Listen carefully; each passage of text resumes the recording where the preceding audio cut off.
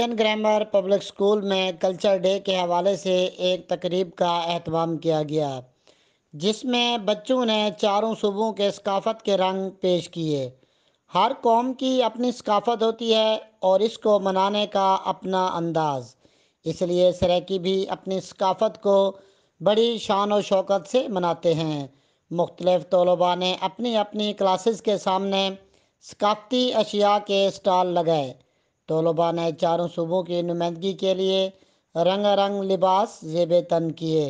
किसी ने पंजाबी, सिंधी, बलोची तो किसी ने सराकी लिबास पहना और आखिर पर अपनी सकाफ़त को उजागर करने के लिए मशहूर सराकी झूमर भी पेश की गई। मोहम्मद सजाद, आप तक न्यूज़ लिया।